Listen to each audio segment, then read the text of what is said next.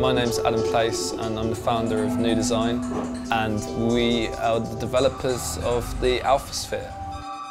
I think in a way the first inspiration for the Alphasphere came from having this kind of really disciplined and kind of linear form to play music on the piano and then also being used to kind of using my voice which is obviously like using the voice is like such a free kind of instrument and um, I think it was taking those kind of two components and kind of bring them together through like the power of technology to create a new musical instrument.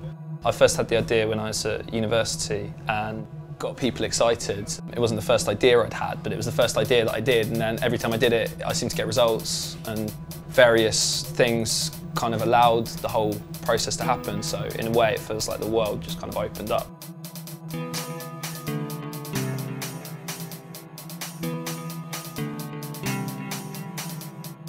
I got a load of espresso cups and basically like stuck them together in a sphere and then I kind of found these little sensors and attached them to like the underside of actually just some balloons and then stretched those over these pads and created this machine that could produce sounds.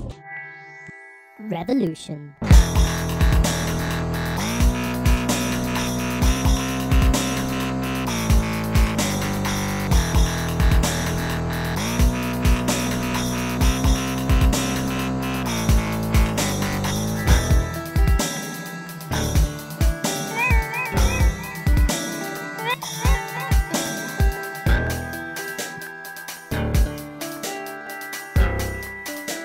The kind of playing style of spherical instruments seemed to be quite intuitive and as well as that I was inspired by instruments I'd seen such as the hang drum and uh, it's something that lend itself and open up a new kind of playing style that for me kind of represented a departure from the western tradition as well. So obviously like the keyboard is designed for the piano which is based on like the western tradition of music and also the piano itself is designed for kind of felt hammers hitting steel strings, so it's not designed for the kind of stuff that goes on in like electronic music production and composition. So I was just looking for a way of kind of opening up a new dimension of experiencing music.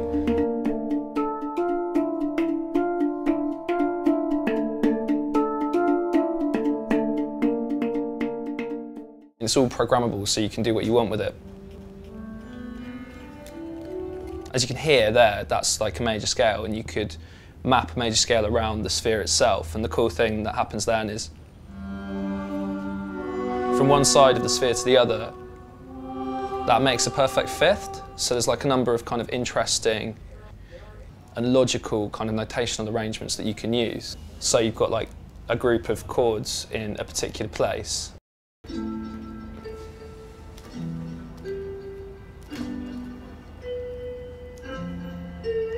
kind of maps these triangles.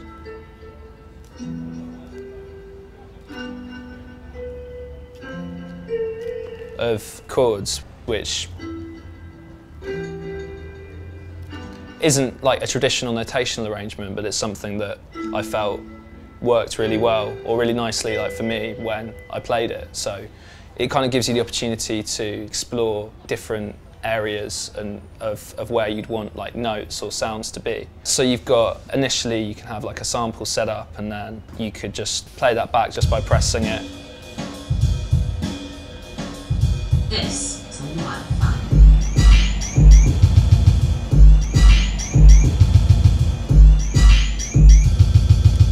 And then as well as that, there are sequences. So you could program a step sequencer like in advance when you press the pads, that will play the sequence back, essentially. It could be MIDI notes, or it could be beats, or it could be like any number of different things.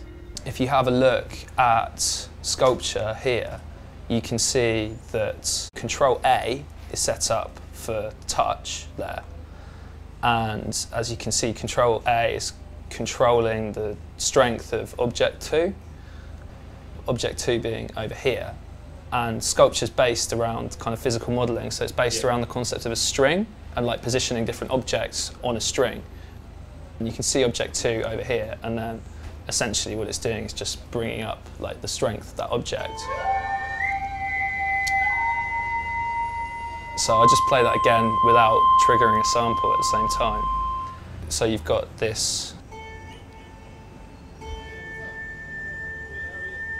That's essentially like the effect of object two being just moved like closer to the string and then that changes the way the string sounds.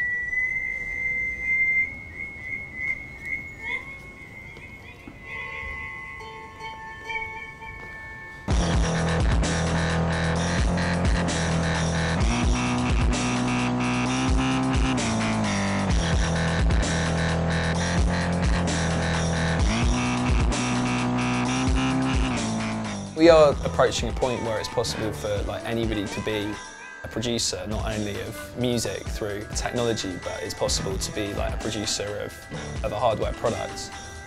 Like there are like a lot of barriers to entry, like on the whole. However, I think we're coming to a point where it's easier for people to pull ideas and share innovations in technology recently, such as kind of rapid prototyping. Some of this stuff is becoming more possible. So what happens with the light at the moment is you just push in one pad and it'll turn, it'll go from blue to green and then when you press two pads together it'll go cycle from green all the way over to red. It's good for like a club and stuff.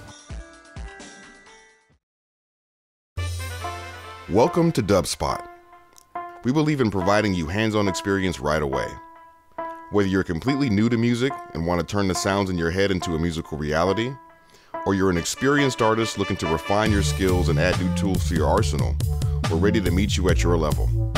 For students of all ages, all levels, and all styles of music, Dubspot is here to help you achieve your goals.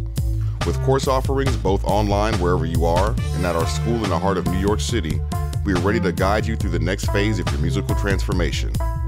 Whether you want to produce music, DJ, or do both, you've come to the right place. Come explore Dubspot for yourself, become a part of our community, and make music.